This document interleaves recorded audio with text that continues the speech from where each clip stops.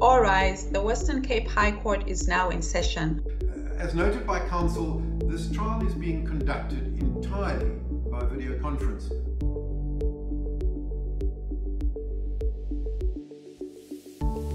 Mr. Johnston,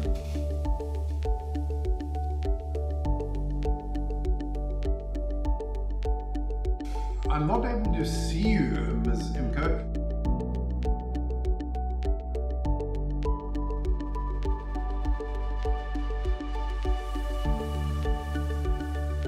Applicant Office, exhibit number one. No objection.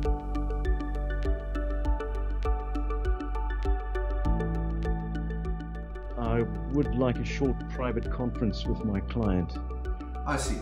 I will create a breakout room for the two of you